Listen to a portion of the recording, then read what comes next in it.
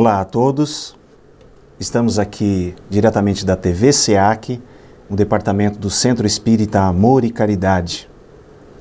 Antes de iniciarmos a nossa conversa, vamos pedir à espiritualidade maior, aos bons espíritos, que nos inspirem, que emitam vibrações positivas para o nosso intuito e que possamos, nesse período em que estivermos aqui conversando a respeito de Allan Kardec e Richard Simonetti, emitir boas vibrações para você que nos acompanha.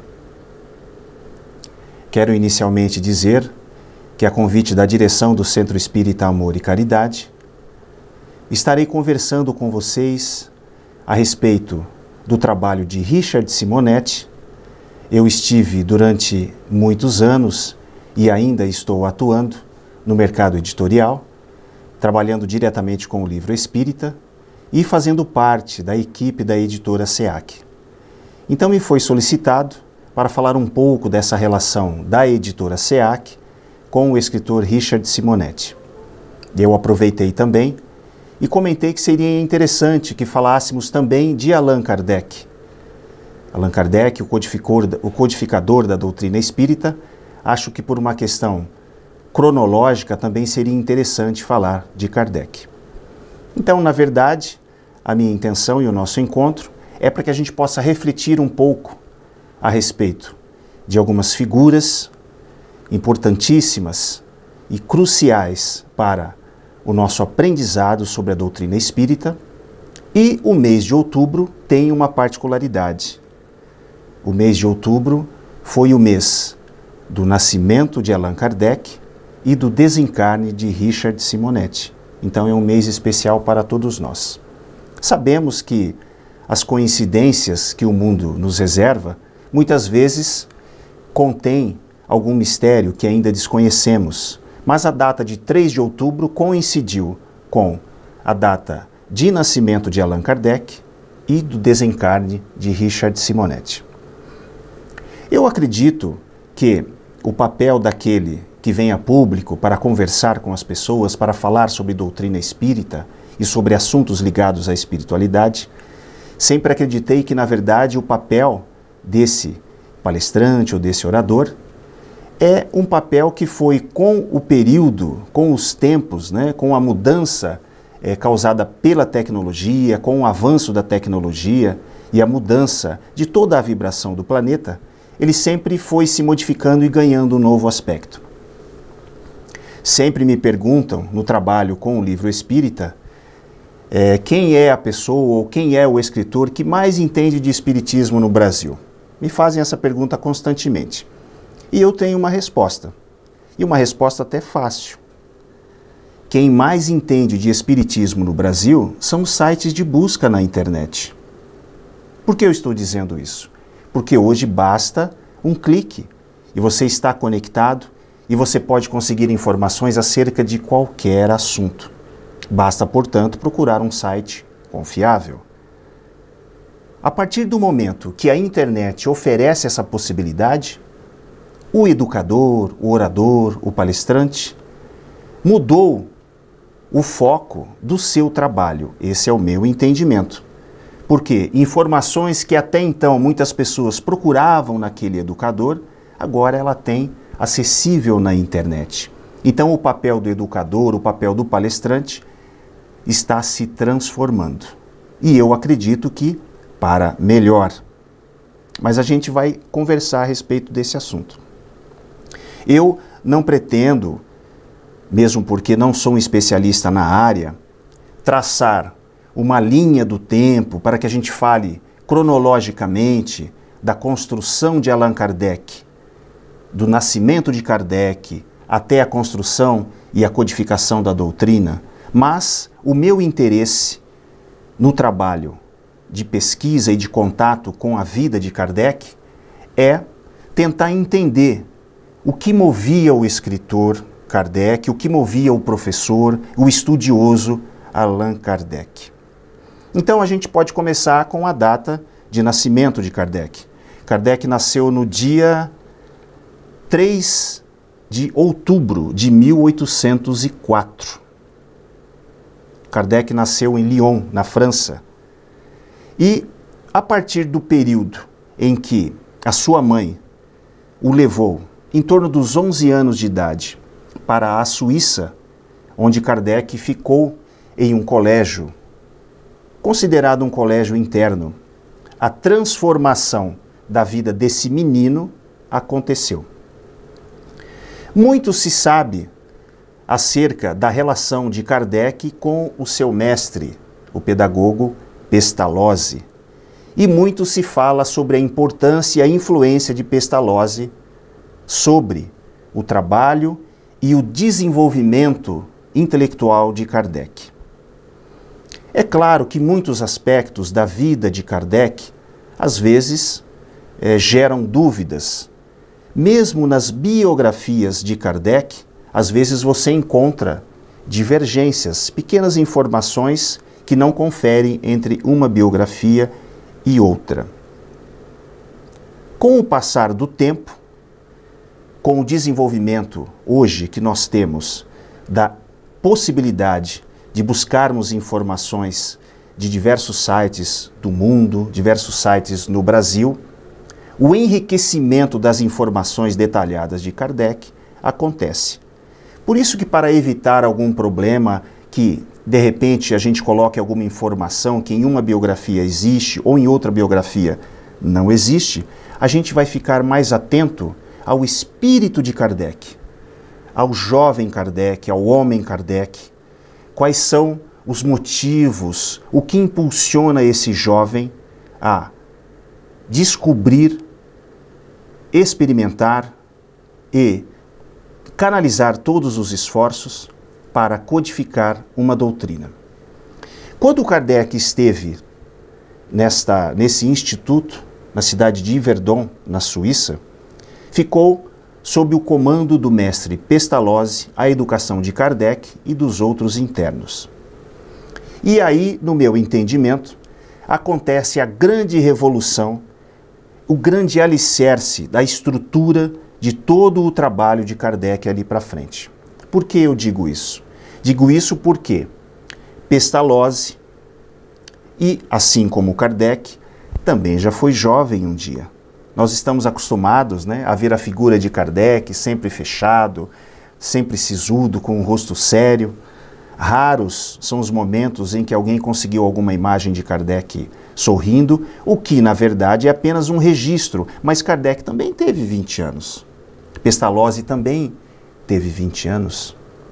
E esses meninos, quando com 20 anos de idade, não juntos no tempo, porque Pestalozzi era mais velho que Kardec, mas esses jovens tiveram sonhos, tiveram ideias sobre o mundo e tiveram visões de mundo e ideias que no futuro eles iriam implantar. E Pestalozzi, o mestre de Kardec, sempre foi um jovem com uma alma vibrante. Quando você começa a acompanhar a vida de Pestalozzi, você vê que a alma dele vibra em busca da liberdade do conhecimento, em busca da unidade, em busca de florescimento da semente que todos nós possuímos. E para isso, para que você cultive essa semente e se transforme em um ser pleno, é necessário o quê? É necessário o cultivo. E Pestalozzi tinha uma preocupação enorme com como eu posso cultivar essa semente, essa ideia de um ser total. Porque na cabeça de Pestalozzi, na ideia dele, somos um ser potência. Temos todas as potencialidades prontas dentro de nós para que elas cresçam, floresçam. É necessário um trabalho. E essa era a ideia de Pestalozzi, a ideia central. Kardec esteve nesse, digamos, Instituto Pestalozzi e a partir daí usufruiu dos métodos de Pestalozzi que buscavam semear, buscavam potencializar todas as possibilidades que os jovens e nós, todos os seres, possuem. Então a escola de Pestalozzi tinha algumas particularidades. Não tinha porta nas salas, não havia castigo por algum aluno que de repente cometesse alguma infração, não havia o reforço por algum aluno que de repente tivesse feito alguma coisa especial. O tratamento era igual para todos, porque para Pestalozzi o objetivo de uma escola não é competir. O objetivo de uma escola não é colocar os alunos em competição com os outros, mas sim, de acordo com cada particularidade, você semear o que há de potencial em cada um. Essa semeadura e a liberdade que os jovens possuíam no instituto, que Pestalozzi administrava as aulas, é o grande cerne, é a grande estrutura que vai possibilitar a Kardec no futuro conseguir, com essas ferramentas, preparar o trabalho que fez.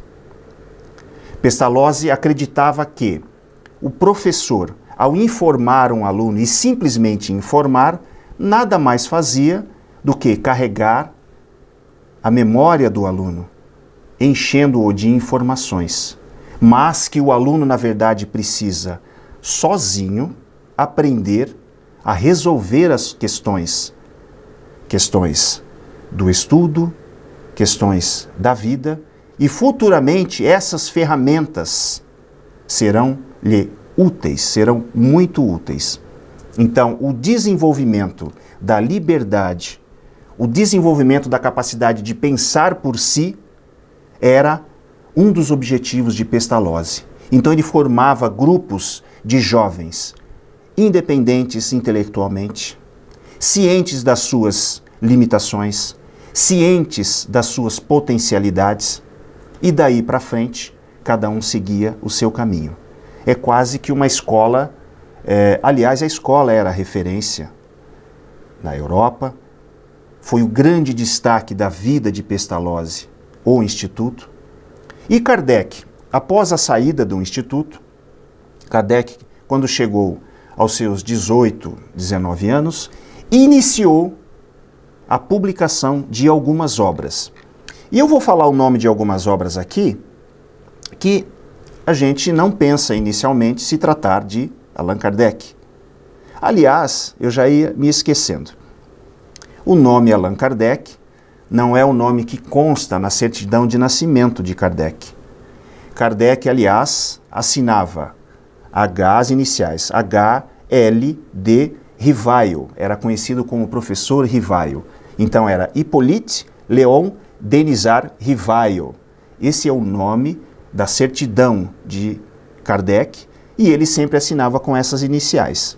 Então o professor Rivaio, ou como tivemos a oportunidade de acompanhar no filme sobre Kardec, uma produção que recentemente chegou aos cinemas, ele era chamado pela esposa de Leon.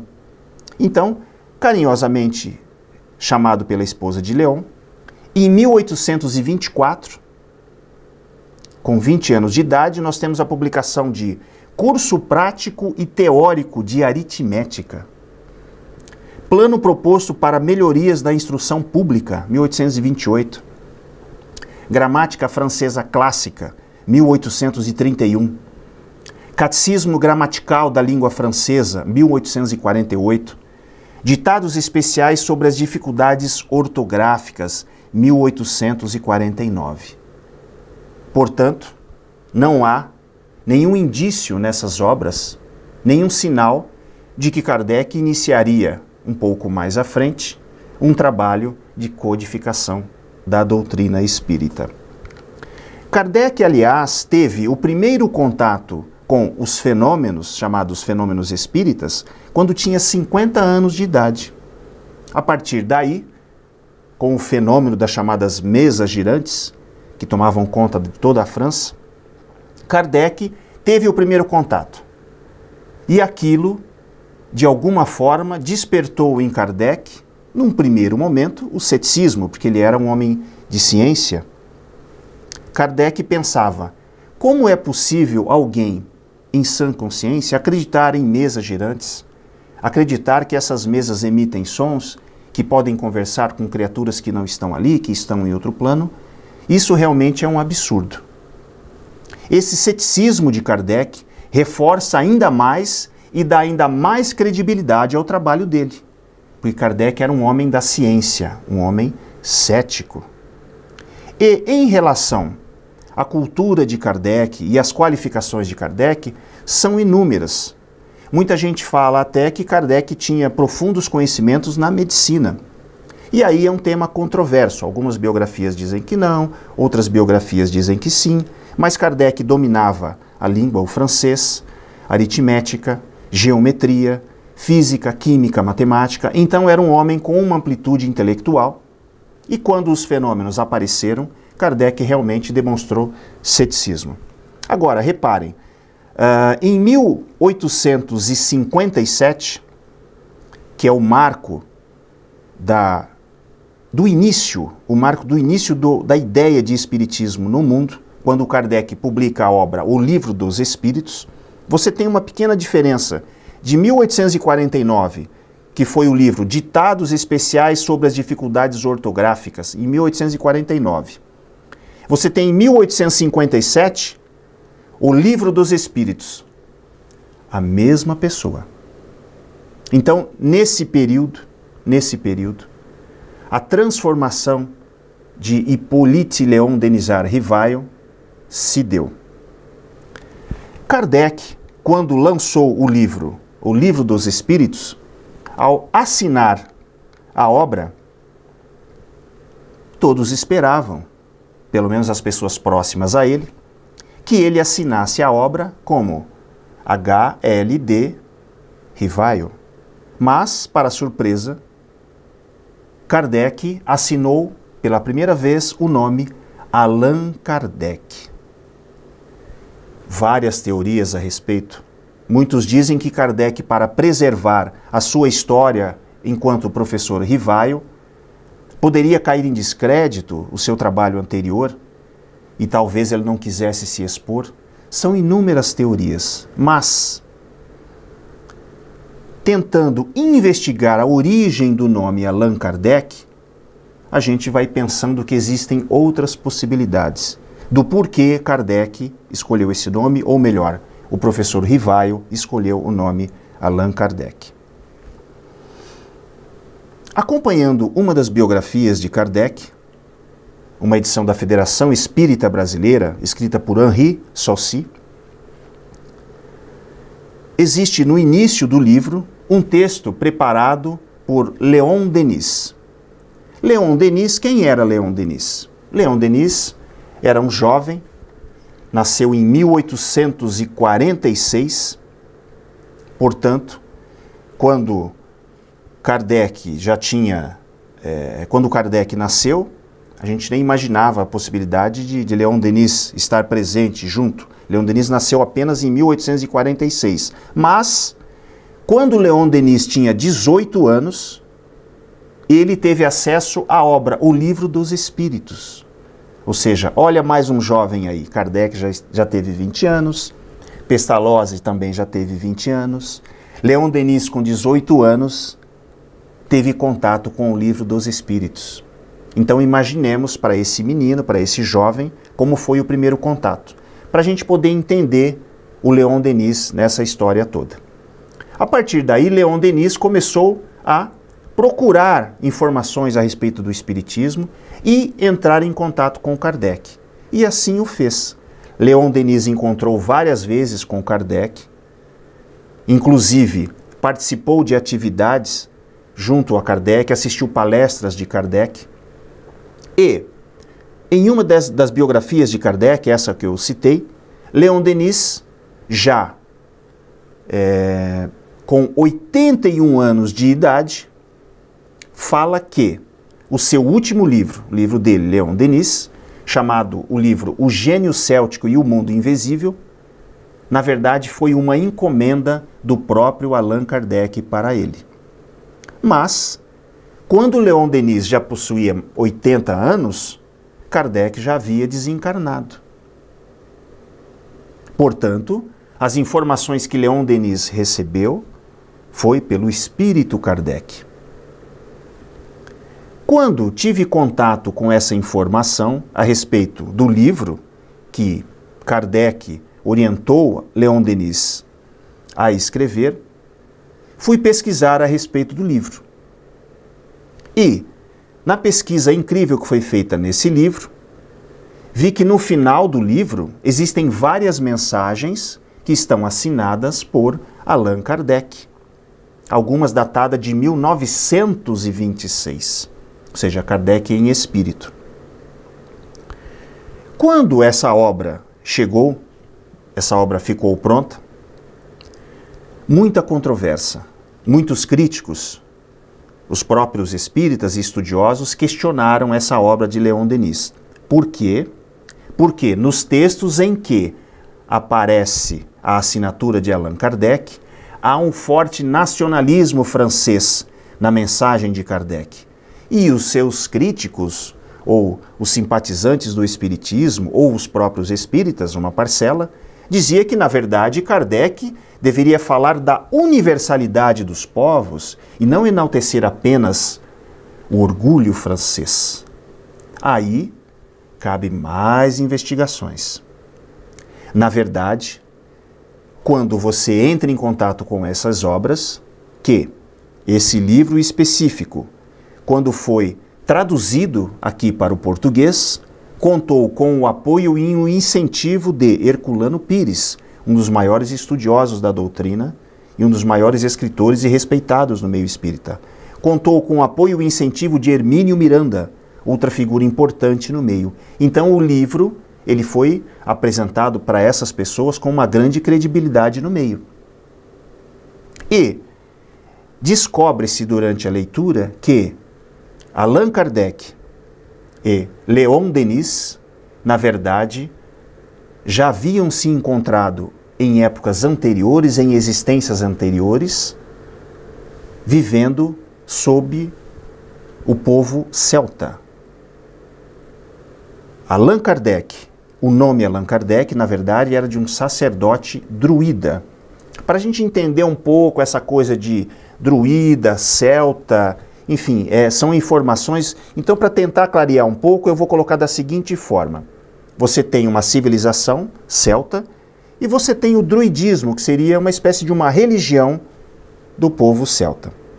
O povo celta abriga para a gente entender a localização, para a gente situar um pouco o que a gente está conversando, hoje, nos dias de hoje, se você pegar uma parte da França, País de Gales, Irlanda, Escócia, essas regiões, hoje denominadas dessa forma, abrigavam a cultura celta. E os druidas, enquanto conceito de religioso ou de filosofia, habitavam essas regiões.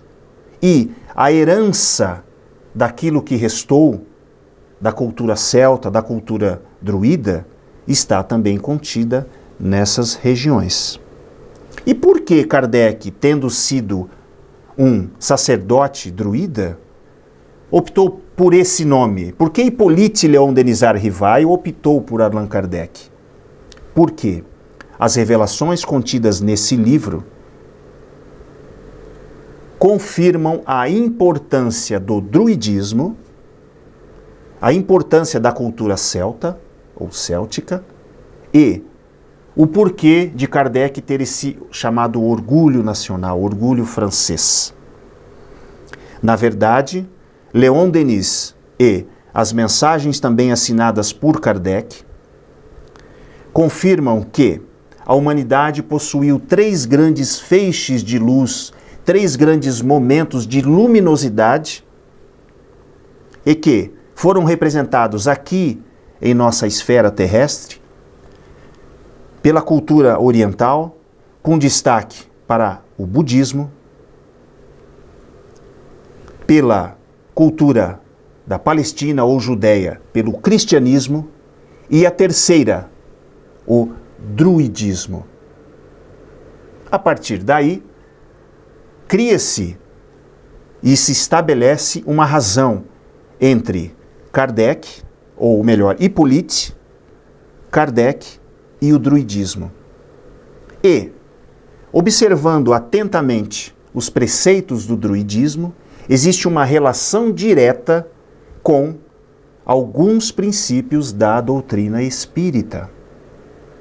Assim como o druidismo possuía alguns preceitos vindos do chamado cristianismo primitivo. Não esse cristianismo de Roma, mas o cristianismo inicial que ajudou o druidismo a se humanizar. Esse aspecto que coloca o druidismo como sendo um passo inicial para que Kardec, enquanto druida, viesse em um futuro, em uma outra encarnação como Hippolyte Leon, mostra que o preparo de Kardec, a forma como foi conduzida a relação de Hippolyte Leon em tempos passados, reforça a importância, a importância desse entendimento de Kardec como druida e importante a nossa relação de busca com os conceitos druídicos, a relação dos druidas com o cristianismo, com o budismo e a relação da doutrina espírita com o druidismo.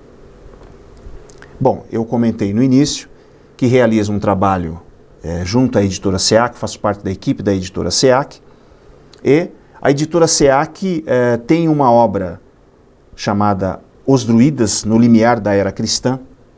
É uma obra assinada pelo espírito Lis, a escritora Mônica Dabos, a médium. Está aqui a obra, uma referência.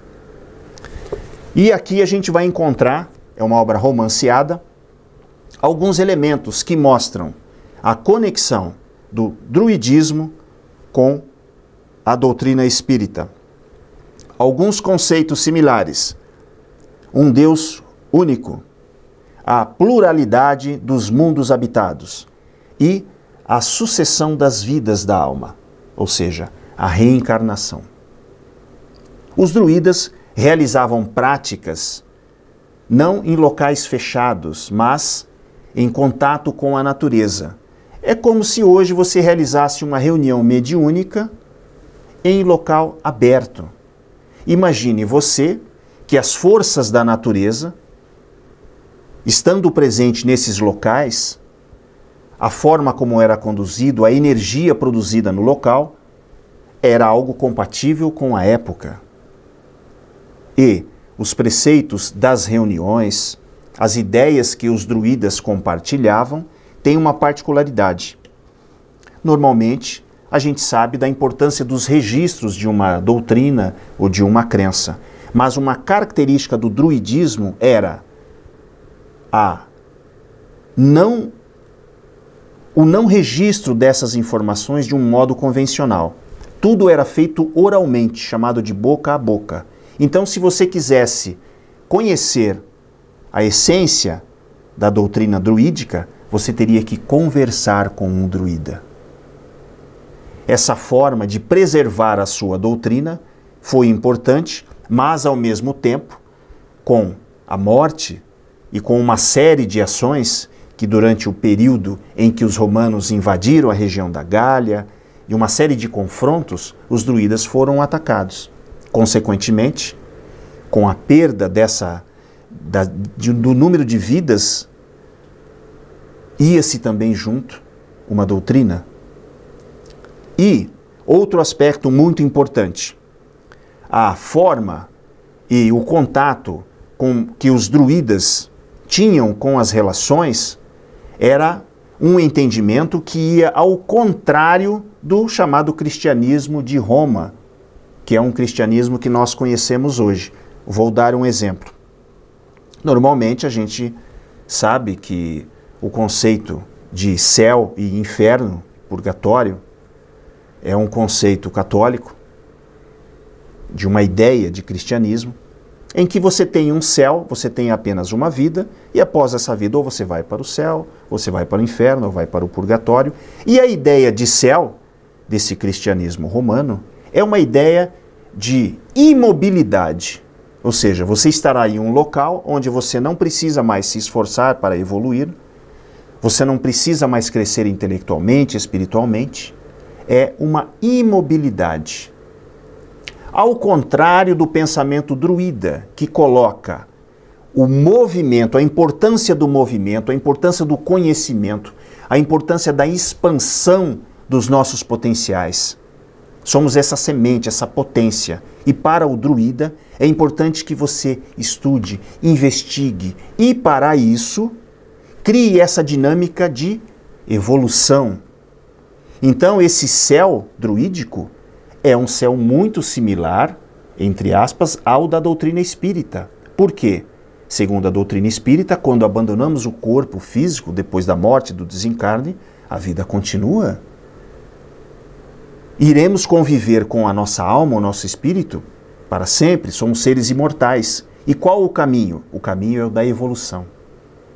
Então, esse imobilismo desse paraíso, desse céu, desse cristianismo romano, é ao contrário do que prega o druidismo e entra numa relação direta com os preceitos de Hippolyte que é, em períodos anteriores, em vidas passadas, era o sacerdote druida Allan Kardec.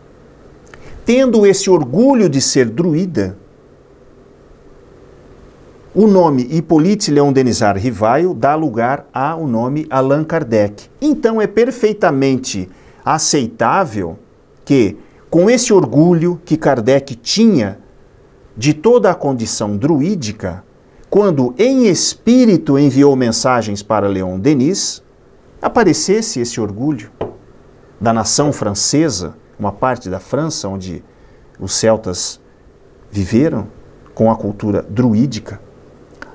Há no meio espírita, e isso eu posso dizer porque no trabalho como editor acompanho bastante e vejo, muitos questionamentos a respeito de mensagens assinadas por espíritos conhecidos, espírito de grande visibilidade, mas a gente tem que lembrar que, por orientação da própria espiritualidade, o importante não é a assinatura, o importante é o conteúdo. Que mensagem é essa? Vamos lê-la. O que essa mensagem diz? Independentemente de quem assinou, essa mensagem vai ser útil para alguma coisa? O espírito de Kardec, investigativo, deve estar presente.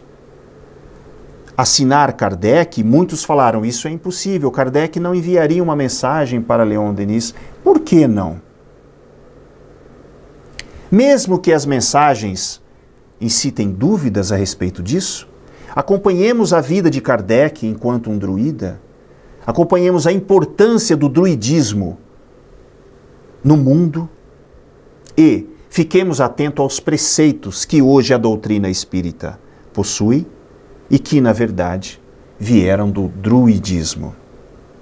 As mensagens colocadas por, assinadas por Allan Kardec no fim do livro, o Gênio Céltico e o Mundo Invisível, segundo Leon Denis, são mensagens em que o intelecto humano chega ao seu limite de compreensão acerca das forças da natureza. Então, é uma dica aí de leitura também desse livro fantástico. Eu tinha o interesse em realmente tenho em colocar essas questões de Kardec a importância de Pestalozzi na sua vida, a importância do entendimento do nome Allan Kardec, desse forte nacionalismo francês, que vem da cultura druídica, dos druidas.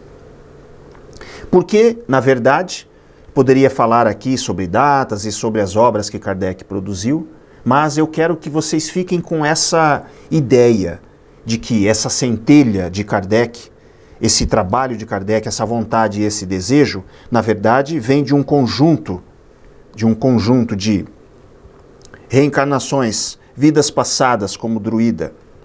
Esse contato com Pestalozzi que criou toda a base estrutural, a base estrutural para que Kardec desenvolvesse o seu aspecto intelectual, a formação na escola de Pestalozzi. Então, todo esse trabalho de preparação ele atravessou os tempos. Então, em 31 de março de 1869, com 64 anos, Kardec desencarna. Após o desencarne de Kardec, as mensagens que Leon Denis começa a receber são orientadas para que ele continue e produza algumas obras. E Leon Denis, quando lançou seu último livro, é, já não estava nem enxergando mais. Foi, eu acho que, pouco antes dele falecer. Acho que em 1926, 1927, que foi publicada a obra. Então, a minha ideia, a mensagem que eu gostaria de deixar de Kardec é essa. Kardec é um espírito que vem atravessando os tempos, assim como nós, mas teve essa força, essa forte marca no seu espírito impregnada da cultura celta, do druidismo. Teve essa formação incrível e fantástica com Pestalozzi e realizou esse trabalho de codificador do espiritismo. O que é essa palavra codificador? Codificar tem o sentido de agrupar em uma única obra textos de fontes diversas. Por isso que ele é chamado de codificador do espiritismo ou compilador. Então, eu quero, na verdade, não responder às perguntas. Eu quero, na verdade, deixar as perguntas e as dúvidas e os questionamentos para que vocês pesquisem. Esse é o trabalho que a gente deve fazer. Pesquisar, procurar, procurar entender de que forma foi se formando esse pensamento de relação do nosso mundo com a espiritualidade. Era isso que eu gostaria de falar sobre Kardec. E entrando agora no assunto Richard Simonetti, que aliás é o assunto que me trouxe aqui, eu é, inicialmente quero falar sobre algumas datas que é, todos acharam datas coincidentes, que Kardec nasceu no dia 3 do 10 e Richard Simonetti desencarnou no dia 3 do 10. E também me chamou a curiosidade que uma outra escritora, a escritora Zíbia Gaspareto, que muitos não a consideram do movimento espírita, a própria Federação Espírita Brasileira tem ressalvas em relação ao trabalho da Zíbia, mas, como editor, eu entendo que Zíbia Gaspareto ajudou a popularizar a ideia da relação do plano espiritual com o nosso plano. Ela possui uma literatura que entrou em todas as outras religiões. Você vai encontrar o católico lendo Zíbia, você vai encontrar o protestante lendo Zíbia, o evangélico, o budista. Colocando algumas ressalvas à parte, olha só a coincidência. Zíbia Gaspareto desencarnou no dia do aniversário de Richard Simonetti. Então, Zíbia desencarna Kardec nasce dia 3. Richard desencarna dia 3. Mas Richard nasceu no dia 10. E Zíbia desencarna no dia 10. Saberemos lá o porquê dessas coincidências. E, na minha relação com Richard Simonetti como editor, tive o contato e a possibilidade, o privilégio de trabalhar direta ou indiretamente em diversas obras de Richard. Richard lançou seu primeiro livro em 1969, Para Viver a Grande Mensagem. E o último livro, O Melhor é Viver, lançado em 2018, lançado um mês antes do seu desencarne. Então, praticamente são quase 50 anos de literatura, 50 anos de dedicação ao trabalho de divulgação da doutrina espírita e ao trabalho que muitos, em contato com a obra, vão percebendo as particularidades. Richard é, possuía, no meu entendimento, uma capacidade enorme de síntese. Então, quando alguém me procurava e falava assim: Olha, eu tenho um amigo, eu gostaria de indicar uma obra para alguém que está se iniciando no Espiritismo. Ao invés de indicar, por exemplo, o Livro dos Espíritos, eu indicava uma, indicava uma obra de Richard. Olha, por que, que você não lê, por exemplo, uh, Espiritismo, tudo que você precisa saber do Richard? Porque Richard fez o quê? Richard separou, fatiou, a gente pode usar um, diversas, é, diversos termos para isso. Como a obra de Kardec, para cada questão do livro dos Espíritos, você pode fazer um livro, isso é fato. Kardec colocou a abertura para que quem viesse depois fosse se aprofundando. E foi o que Richard fez. Richard foi fatiando, separando e clareando aos poucos e se aprofundando em cada questão de forma separada. É claro, sempre mantendo a universalidade da ideia de todas as obras de Kardec. Então, Richard foi um educador através de seus livros. Eu mesmo tive a minha formação iniciei aqui no Centro Espírita Amor e Caridade, na Mocidade, eu acho que de 1982, faz muito tempo. A primeira mocidade do Centro Espírita Amor e Caridade, e a nossa grande referência era o escritor Richard Simonetti. E Richard iniciou esse processo em 1969 e a partir daí foram 65 obras publicadas. E a última, O Melhor é Viver. Durante esse período, Richard publicou romances, livros para estudo, enfoques no Evangelho, enfoques em assuntos como suicídio. Richard tem a produção ligada a uma gama de assuntos relacionados à vida no mundo espiritual e a relação conosco aqui encarnados. Mas eu não gostaria de falar apenas do escritor Richard Simonetti, porque na verdade o que movia Richard e o espírito dele, que, voltando ao que eu sempre digo, também já teve 20 anos de idade, também já teve 18 anos, assim como Leon Denis, como Kardec, como Pestalozzi, foram jovens, jovens que pensavam, jovens que tinham sonhos. E Kardec e assim como Richard, e Richard assim como Kardec, teve o que? Esse impulso no caminho da divulgação de uma doutrina. Mas Richard Simonetti possui particularidades que muitas vezes as pessoas se esquecem ou não ficam tão atentas, que é o espírito extremamente caridoso de Richard e o seu desprendimento total, total do materialismo. Richard publicou e vendeu mais de 2 milhões de exemplares e nunca ficou com um centavo só dessa, do valor dessas obras. Nem um centavo. Como orador, nunca recebeu para isso. Escrevia para revistas, escrevia artigos e sempre atuando de forma desinteressada. É, aqui no Centro Espírita Amor e Caridade, quando da criação da editora SEAC, a editora SEAC, no início, Teve a participação de Sidney Fernandes, colaborando com Richard, mas teve uma pessoa que foi fundamental para alicerçar o trabalho da editora durante todos esses anos. Foi o senhor Laércio Mulatti. O senhor Laércio foi o grande comandante da editora durante muitos anos e se a editora ainda hoje continua firme, continua atuando, mesmo com todas as dificuldades que vem enfrentando, esse trabalho se deve ao senhor Laércio Mulatti. E Richard, durante o período de construção da sua obra, eu particularmente tive algumas experiências com ele. Richard tinha o hábito de, quando nós iríamos lançar um livro, ele sempre fazia a revisão final. E após as suas anotações, ele me procurava na editora, sentava do meu lado, e eu, como diagramador também, ia aplicando as alterações que Richard gostaria de fazer. E o Richard tinha essa, essa coisa de, de cuidar do contexto, de fazer a última leitura e de preocupação, porque ele sabia que o livro também, o livro é documento. E a maior preocupação depois do livro pronto não era se o livro ia vender muito ou se ia vender pouco, mas o quanto o livro podia ajudar as pessoas e o quanto o livro podia ser disseminado para que a gente pudesse atender um maior número de pessoas. Porque a doutrina espírita ela precisa ser pulverizada, ser espalhada, porque traz o consolo. Então nós enviávamos uma, uma obra do Richard, um exemplar, para todas as federações, para o maior número possível de clubes do livro.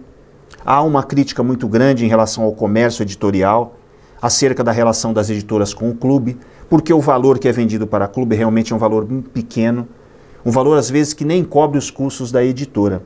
Mas a distribuição do livro espírita é fundamental. Por quê? Porque é a educação espírita que, voltando lá à pestalose, ela pode, além de colocar elementos da relação do homem com o seu mundo hoje, falar da conexão do mundo com a espiritualidade, da importância de entendermos que a ação da espiritualidade em nossas vidas é muito maior do que a gente pensa e a partir dessa relação, do estudo dessa relação, do desenvolvimento do nosso intelecto, nossa relação, a gente pode fazer o quê? Fazer aquilo que os druidas diziam, fazer aquilo que Pestalozzi pensava, um ser total. Nós somos uma potência enquanto ser, mas a gente precisa cuidar. No trabalho com o Richard, tive várias experiências que gostaria de comentar com vocês. Uma delas para mostrar a simplicidade de Richard e o cerne da questão daquilo que o movia. Uma vez havíamos planejado um encontro na editora e uma pessoa viria de outra cidade, havia combinado com o Richard, para que ele a orientasse, porque ela iria abrir um centro espírita. E chegou a hora da reunião, o Richard falou para ela, falou, olha, minha querida, vamos fazer o seguinte, amiga, eu, eu sei uma forma de você iniciar. E aí ela, muito atenta, achou que o Richard fosse abrir uma planta, dizendo como ela poderia construir o centro, construir um salão, construir uma biblioteca, uma livraria. O Richard falou, olha, é o seguinte, o primeiro passo, sabe qual é? Você arruma umas panelas, mas panelas grandes, grandes, esquenta a água, põe lá legumes, tudo aquilo que você conseguir. E aí faz um grande sopão e aí você faz a casa da sopa. Está inaugurado o seu centro. E ela ficou atônita assim. Então, mas seu Richard, é isso. É a simplicidade, é o mínimo. Tudo virá como consequência desse trabalho inicial.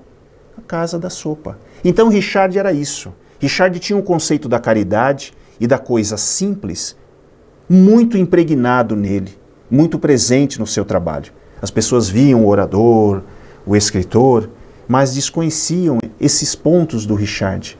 A caridade em primeiro lugar, fazer a casa da sopa. Nós temos que fazer uma obra gigantesca. Na consequência do tempo, com o trabalho, talvez venha algo nesse sentido, mas comece pelo simples.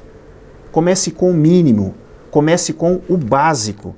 Essa é uma ideia que Richard possuía, mas que muitos relacionam é, o Richard, a pessoa do Richard, apenas com aquele que é orador, é o palestrante, é o diretor da entidade do Centro Espírita Amor e presidente do centro durante muitos anos, mas Richard era a caridade pura. E esse conceito de abertura de um centro espírita através da Casa da Sopa é a simbologia do sentimento de Richard Simonetti, um homem que abriu mão de qualquer ganho por todo o trabalho realizado de anos como escritor, como palestrante, em prol da caridade. Obviamente, Chico Xavier o inspirava, obviamente, Chico Xavier tinha essa influência positiva em Richard. Mas esse homem Richard, que vai além do escritor, além do orador, era a base, era o que movimentava Richard. A caridade pura, desinteressada que é o princípio do trabalho, é a semente do trabalho de Richard Simonetti e de todos esses anos que ele desenvolveu. É, algumas particularidades do convívio com Richard, é claro que existem momentos né, que, é, no lançamento do último livro dele, O Melhor é Viver, ele enviou o arquivo para mim em fevereiro de 2018, me ligou e disse: Renato, dá uma olhada na sua caixa de e-mails. Eu abri e falou, Richard, tem um texto aqui. Ele falou, esse, agora, esse trabalho, eu passo a bola para você. Agora é com você. E desligou o telefone. Esse foi o último livro do Richard. Depois eu acho que conversei com ele apenas mais uma vez antes do seu desencarne. É, então, no lançamento do livro Melhor é Viver, que foi feito em setembro de 2018, obviamente o Richard que desencarnou no mês seguinte, não teria condições de, de estar aqui presente. Então nós tivemos uma, uma, palestra do Dr. Marcelo Occhiuto, um grande companheiro do Centro Perseverança de São Paulo, e tivemos a presença de Miguel Formiga, um médium, um psicógrafo. E no dia do lançamento do livro, O Melhor é Viver, o último de Richard, quando falávamos dele, ô oh, Richard, esse, esse é o último livro? Não, ele falou, esse aí é o meu mais recente. O último eu não sei. No lançamento do livro Melhor é Viver, Miguel Formiga, como médium psicógrafo, recebeu inúmeras mensagens. Inúmeras mensagens. Essas mensagens foram assinadas por diversas personalidades da área artística. Vieram assinadas por Vinícius de Moraes, Luiz Gonzaga, Maísa. E é óbvio que aqueles que acompanham o trabalho mediúnico sempre questionam: será que essa assinatura é dele mesmo? É do Luiz Gonzaga? É do Vinícius de Moraes? É da Maísa? Gente, isso não importa. O que importa é o conteúdo. Qual o conteúdo da mensagem? O conteúdo é: o melhor é viver. Foi lançado em um período em, em que nós sabemos, o chamado Setembro Amarelo, o tema suicídio é um tema gravíssimo, e as mensagens vieram com esse intuito: o melhor é viver. Então, se essas personalidades estiverem, estiveram aqui, como atestam o texto do Miguel, a gente pode, olha, eu tenho dúvidas. Tudo bem, todo mundo tem direito de duvidar. Mas vamos dar uma olhada no conteúdo. E mais, eu não quero aqui defender as assinaturas. Eu só quero colocar reflexões. Uh, o médium Miguel Formiga era é, filho, é filho de Euríclides Formiga, um dos maiores poetas brasileiros. Euríclides Formiga recebia em sua residência grande parte desses artistas que deixaram as suas imagens no dia aqui, acho que 2 de setembro de 2018, que vieram em um movimento fraternal, de mãos dadas, dizer para todos, em de uma forma especial, para todos que estavam aqui e também para Richard. Richard, nós estamos juntos, porque o melhor é viver. E nesse dia, uma das provas que alguma coisa estava acontecendo, e para aqueles que realmente sentem que uh, alguns fenômenos espíritas são questionáveis e outros não, durante o trabalho de Miguel Formiga da psicografia, ou após, melhor dizendo, ele começou a ler uma mensagem e disse: Olha, essa mensagem é de um poeta que eu desconheço, o nome dele é José Valderi Pipol. Quando ele disse isso, eu estava com a cabeça um pouco baixa no salão e eu levantei, porque eu me lembrei eu conhecia Pipol, eu conhecia o Valderi. Nos corredores da universidade, aqui na Unesp, nós estudávamos no mesmo grupo, mas sempre conversávamos. Valderi, Nicodemos, Johnny Rosa formavam um grupo em Bauru chamado Pirataria Poética. No outro dia, eu perguntei ao Miguel, falei, Miguel, você recebeu uma, uma, uma mensagem de Valderi? Ele falou, é, não sei quem é, Renato. E também não tem como ele saber, porque o Formiga não é de Bauru. Formiga acho que está morando em São Paulo. E eu achava que o Valderi estava vivo, porque ele tem uma diferença de idade pequena comigo, assim, o que também não justifica o fato de estarmos vivos, mas imaginei. Pesquisei na internet e vi que Valderi tinha desencarnado. E para minha surpresa, para minha surpresa, conversei com Miguel e disse: Miguel, o Valderi era um amigo, um colega e tal. E uh, um dos integrantes do grupo dele, a chamada Pirataria Poética, o Johnny Rosa, é meu parceiro em várias composições, nós fizemos algumas músicas juntos e tal. Aí ele falou assim, então, é, tinha lá um rapazinho baixinho, assim, do lado dele e tal, Johnny Rosa. Eu não sabia que o Johnny havia desencarnado, fiquei sabendo pelo Miguel. Na verdade, o Miguel ficou sabendo pelo próprio Valderi, que é amigo do Johnny. Os dois estiveram aqui no SEAC, desencarnados. E o Miguel me informou, entrei na internet, pesquisei, Johnny Rosa havia desencarnado também. Então aquele dia para mim foi mais uma prova da imortalidade da alma e do espírito. Independentemente de quem assinou aquelas mensagens, se foi realmente Luiz Gonzaga ou Vinícius de Moraes, a ideia era: o melhor é viver. E uh, no dia em que Richard Simonetti eh, foi feito um cortejo acompanhando o corpo de Richard rumo ao cemitério, aconteceu um fato que eu queria registrar para a gente linkar com essa questão do Richard, da caridade e do amor. Nós estávamos passando em frente a um dos projetos do Centro Espírita Amor e Caridade, se eu não me engano, o projeto Crescer, e dezenas de crianças saíram na calçada, observando aquele cortejo, e de repente começaram a aplaudir.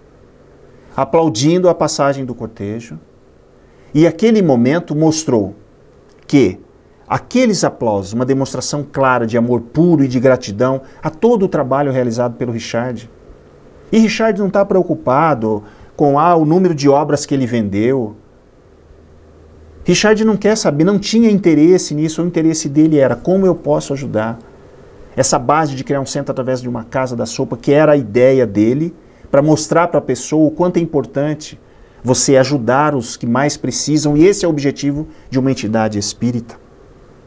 Então, Richard, o desinteresse dele era total em, em, em todas as peças publicitárias que fazíamos a respeito de obras do Richard.